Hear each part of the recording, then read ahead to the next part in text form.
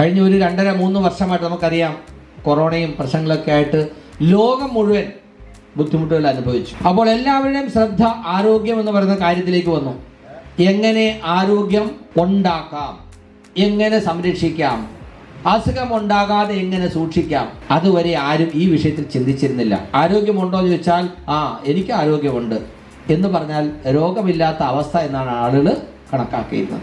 R C M തുടങ്ങി ഇരുപത്തിരണ്ട് വർഷമായി ഓഗസ്റ്റ് മാസമായപ്പോൾ ഇരുപത്തിരണ്ട് വർഷം പൂർത്തിയായിരിക്കും. ഇരുപത്തിരണ്ടാമത്തെ ആനിവേഴ്സറി എന്ന് പറയുമ്പോഴേക്കും ആർ സി എം എവിടെ തുടങ്ങി എവിടെ എത്തി നിൽക്കുന്നു എന്ന് നമ്മളൊന്ന് വിലയിരുത്തണം. ഇപ്പോൾ അല്പം മുമ്പ് ഇവിടെ ചേർന്നപ്പോൾ സാറ് പറഞ്ഞു ഒരു ആറു വർഷം മുമ്പ് അട്ടപ്പാടിയിൽ ഞങ്ങൾ ഒരു മീറ്റിംഗ് നടത്തിയതാണ്. അന്ന് ഇത് ഉൾക്കൊള്ളാൻ കഴിഞ്ഞില്ല എന്ന്. ആർ സി എമ്മിൽ ഒറ്റ പ്രൊഡക്റ്റ് ഉള്ള സമയത്ത് ആർ സി എം പറഞ്ഞപ്പോൾ മനസ്സിലാക്കിയ ആളുകളുണ്ട്. അന്ന് മനസ്സിലാക്കിയിട്ട് തിരസ്കരിച്ച ആളുകളുണ്ട് കളിയാക്കിയവരുണ്ട്. ഇന്ന് നമ്മൾ ഇരിക്കുന്ന ഈ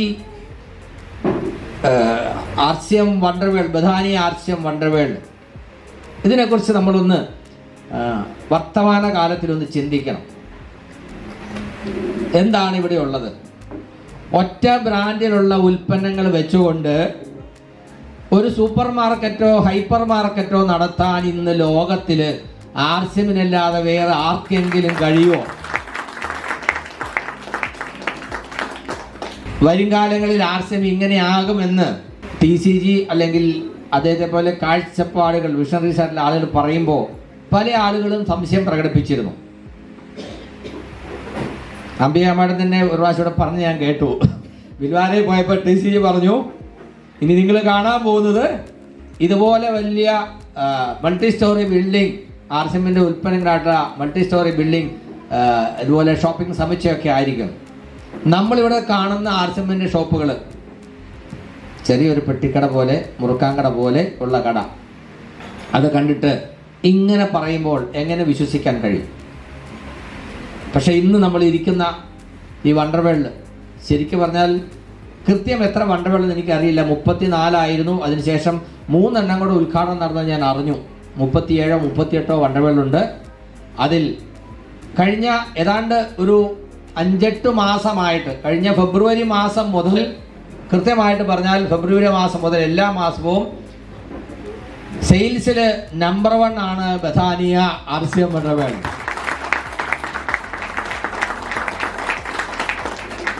R ഓരോ സെഗ്മെന്റ് പുതിയതായിട്ട് വരുമ്പോഴും എന്ത് പുതിയതായിട്ട് വന്നാലും ആളുകൾ അതിനെ അല്പം സംശയത്തോടെയാണ് കാണുക. ഗുഡ് ഡോട്ട് ആദ്യം നമുക്ക് വെജ് മീറ്റ് എന്ന പേരിൽ ഒരു പ്രൊഡക്റ്റ് തന്നു. ആളുകൾ അതിനെ വിമർശിച്ചു. കേരളത്തിൽ അങ്ങോളം ഇങ്ങോളം നമ്മൾ വെജ് മീറ്റ് കൊണ്ട് എന്താ പറയുക ഡിഷസ് ഉണ്ടാക്കി ആർസിമിന്റെ പ്രോഗ്രാമുകൾ ആളുകൾക്ക് കൊടുത്തു. കഴിച്ച ആളുകൾക്ക് മനസ്സിലായി ഇത് കൊള്ളാം. അപ്പോൾ പുതിയൊരു കാര്യം ഉൾക്കൊള്ളണമെങ്കിൽ ഏറ്റവും നല്ല മാർഗം അനുഭവിക്കുക എന്നുള്ളതാണ്. മൂന്ന് രീതിയുണ്ട്. ഒന്ന് വിശ്വാസമുള്ള ആളുകൾ പറയുന്നത് നമുക്ക് കേൾക്കാം. രണ്ട് ശാസ്ത്രീയമായിട്ട് അതിനെ വിലയിരുത്താം. മൂന്ന് അനുഭവിച്ച് ബോധ്യപ്പെടുക. അപ്പോൾ ഗുഡ് ഡോട്ടിന്റെ ഉൽപ്പന്നങ്ങൾ അനുഭവിച്ച് ബോധ്യപ്പെടാനുള്ള അവസരം ധാരാളമായിട്ട് ഒരുക്കിയിരുന്നു. ഒരു പ്രൊഡക്റ്റാണ് തുടങ്ങിയത്. ഇന്ന് ഒരു ഡസനോളം ഉൽപ്പന്നങ്ങളുണ്ട്. എന്നിട്ടും ആളുകൾ ഇതിന്റെ പ്രാധാന്യത്തോടു കൂടി ഇതിനെ ഉൾക്കൊണ്ടിട്ടില്ല. അതുകൊണ്ടാണ് ഇങ്ങനെ ഒരു ഫുഡ് ഫെസ്റ്റ് നടത്തി കൂടുതൽ ആളുകളിലേക്ക് ഇതിന്റെ നന്മ ഒന്ന് പങ്കുവെക്കാനായിട്ട് തീരുമാനിച്ചത്. നമ്മൾ ഇവിടെ ഇരിക്കുന്ന കാണാം Thulasi paint Thulasi paint company ശരിക്കും പറഞ്ഞാൽ ആർസിമിനേക്കാൾ രണ്ട് വർഷം മൂന്ന് വർഷം കൂടുതൽ പ്രായമുള്ളതാണ്. ചേട്ടനാണ്. പക്ഷെ ആർസിമിൽ വന്നത് രണ്ടായിരത്തി പതിനെട്ടിലാണ്. പക്ഷേ ആരും അതിനെ മനസ്സിലാക്കേണ്ട രീതിയിൽ മനസ്സിലാക്കുകയോ സ്വീകരിക്കുകയോ ചെയ്തില്ല. എന്നാൽ കേരളത്തിൽ കുറച്ച് ആളുകൾ ഇതിന്റെ സാധ്യത മനസ്സിലാക്കി അതിനെ ഏറ്റെടുത്തു. ഒറ്റ വർഷം കൊണ്ട് എന്തെന്ന് പറയുക തുളസിപ്പിന്റെ ആർസമിൽ എസ്റ്റാബ്ലിഷ് ആയി. അതുവരെ നേരിട്ടൊരു പ്രൊഡക്റ്റായിട്ട് കിട്ടിയിരുന്നില്ല. എന്നാൽ കേരളത്തിൽ അത് ഏറ്റെടുത്തു കഴിഞ്ഞപ്പോൾ എന്തായി? പില്ലടിച്ച് ഇൻസ്റ്റന്റ് വോളിയം കിട്ടാവുന്ന തരത്തിൽ ജോയിനിങ് ചെയ്യാവുന്ന തരത്തിൽ ഉപ്പും മല്ലിയും മുളകും ഹെൽത്ത് കാർഡും വാങ്ങിക്കുന്ന തരത്തിൽ ഒരു വാർസിമിന്റെ സാധാരണ ഔട്ട്ലെറ്റിൽ നിന്ന് വാങ്ങിക്കാവുന്ന തരത്തിൽ ആ പ്രോഡക്റ്റ് സ്വീകരിക്കപ്പെട്ടു. അതിന് കാരണം എന്താ? വേറൊന്നുമല്ല കേരളത്തിലെ ആളുകൾ അതിനെ സ്വീകരിച്ചു. ഇന്ന് ബിൽവാരയിൽ തുളസിപ്പിന്റെ ഒരു ഔട്ട്ലെറ്റ് ഒരു ഒരു ഫാക്ടറി ഉണ്ട് അല്ലെങ്കിൽ മാനുഫാക്ചറിംഗ് യൂണിറ്റ് ഉണ്ട്. വൺ ലാക്ക് സ്ക്വയർ ഫീറ്റിലാണ് അത് തയ്യാറാക്കിയിരിക്കുന്നത്. അതിന്റെ മാനുഫാക്ചറിംഗ് കപ്പാസിറ്റി എത്രയാണ്? മൂവായിരം ടൺ പെർ മന്ത് ആണ്. വരും കാലങ്ങളിൽ ഇത്രമാത്രം പെയിന്റിന് ഡിമാൻഡ് വരാൻ കഴിയുമെന്ന് അവർക്ക് വിശ്വാസം അത് എപ്പോഴാ? കേരളത്തിൽ ആളുകൾ ഇത് ചെയ്ത് കാണിച്ചപ്പോഴാണ്. പറഞ്ഞ ആനക്കാനയുടെ ബലം അറിയില്ല. നമുക്ക് നമ്മുടെ പൊട്ടൻഷ്യൽ അറിയത്തില്ല. അതുവരെ രണ്ടായിരത്തി പതിനെട്ടിൽ തുളസി പെയിന്റ് വന്നു. ആർസിമിനേക്കാൾ മുമ്പ് തുടങ്ങി. പക്ഷെ തുളസി പെയിന്റ് ആർസിമിൽ വന്നിട്ടും ആളുകൾക്ക് അതിനെ ഉൾക്കൊള്ളാൻ ധൈര്യം വന്നില്ല. പക്ഷെ കേരളത്തിലെ ആളുകൾ അതിനെ എസ്റ്റാബ്ലിഷ് ചെയ്തപ്പോൾ അംഗീകരിച്ചു. അതുപോലെ മറ്റൊരു കാര്യമാണ് ഇപ്പോൾ ഈ ഓഗസ്റ്റ് ഇരുപത്തിനാലിന് നടക്കാൻ പോകുന്നത്. കീസോൾ. രണ്ടായിരത്തി പതിനെട്ടിൽ കീസോളും ആർസിമിന്റെ ഭാഗമായി. ഇങ്ങനെ പഴയ K S R T C വണ്ടി തള്ളി സ്റ്റാർട്ട് ചെയ്യുന്ന പോലെ നല്ല ഉദാഹരണമാണ് അതുകൊണ്ട് പറഞ്ഞതാണ്. അങ്ങനെയായിരുന്നു കീസോൾ പോയിക്കൊണ്ടിരുന്നത്. പക്ഷേ കഴിഞ്ഞ ആറ് മാസം കൊണ്ട് എന്താ സംഭവിച്ചത് നാല് മാസം കൊണ്ട് കേരളത്തിൽ കീസോളിന്റെ സെയിൽ നാലര കോടി രൂപയുടെയാണ് ഫോർ പോയിന്റ് ഫൈവ് ക്രോർ മൂവായിരം പി ഒ അതിൽ കൂടുതലോ മൂന്ന് മാസം കൊണ്ട് സ്വന്തം മൈലിൽ ചെയ്ത് പ്രോഗ്രാമിൽ പങ്കെടുക്കാൻ എലിജിബിലിറ്റി നേടാൻ എത്ര പേരുണ്ടാകും എന്ന് ചോദിച്ചപ്പോൾ ആളുകൾക്ക് എണ്ണം പറയാൻ പ്രയാസമായിരുന്നു. വടക്കേന്ത്യയിലൊക്കെ ലീഡർമാരുടെ ചോദിച്ചപ്പോൾ പി ക്യു സി എന്താ? കെ എസ് ഒ എന്താ നിർജന എന്താ അതുപോലും അവർക്കറിയില്ല. പക്ഷേ കേരളത്തിൽ മൂന്ന് മാസം കൊണ്ട് ഞങ്ങൾ ഒരു രണ്ടായിരത്തിനും മൂവായിരത്തിനും ഇവിടേക്ക് ആളുകളെ തയ്യാറാക്കുമെന്ന് പറഞ്ഞപ്പോൾ അവർക്ക് സംശയമായി. ആ രണ്ടായിരം എന്നൊക്കെ പറഞ്ഞാലും ഒരു പത്തഞ്ഞൂറ് പേരെങ്കിലും വരികയില്ലേ എന്നാണ് ചോദിച്ചത്.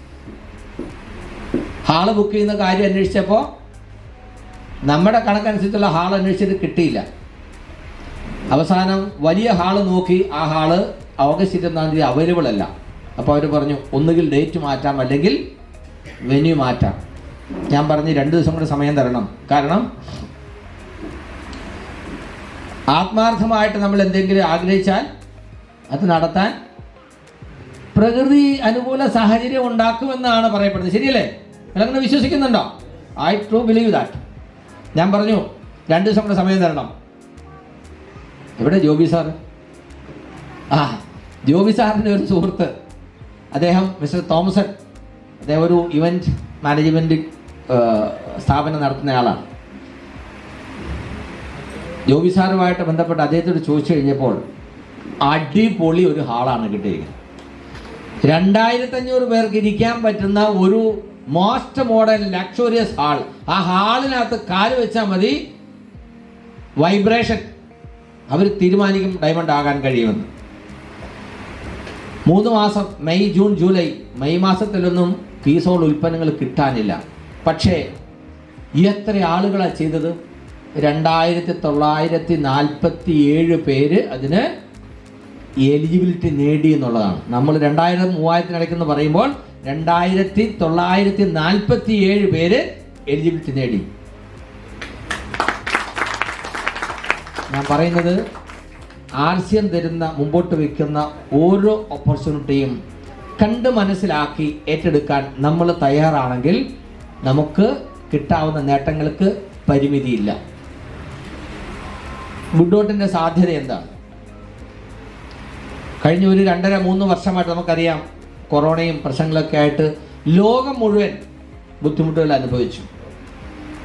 അപ്പോൾ എല്ലാവരുടെയും ശ്രദ്ധ ആരോഗ്യം എന്ന് പറയുന്ന കാര്യത്തിലേക്ക് വന്നു.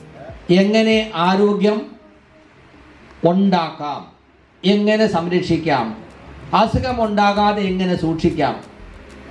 അതുവരെ ആരും ഈ വിഷയത്തിൽ ചിന്തിച്ചിരുന്നില്ല. ആരോഗ്യമുണ്ടോ എന്ന് ചോദിച്ചാൽ ആ എനിക്ക് ആരോഗ്യമുണ്ട് എന്ന് പറഞ്ഞാൽ രോഗമില്ലാത്ത അവസ്ഥ എന്നാണ് ആളുകൾ കണക്കാക്കിയിരുന്നത്. അപ്പോൾ ഈ പറയുന്ന ഓപ്പർച്യൂണിറ്റിയൊക്കെ ശരിക്കും നമ്മൾ മനസ്സിലാക്കി നമുക്കിത് പ്രയോജനപ്പെടുത്താൻ കഴിയുകയാണെങ്കിൽ വേറെ എവിടെയും പോകേണ്ട കാര്യമില്ല.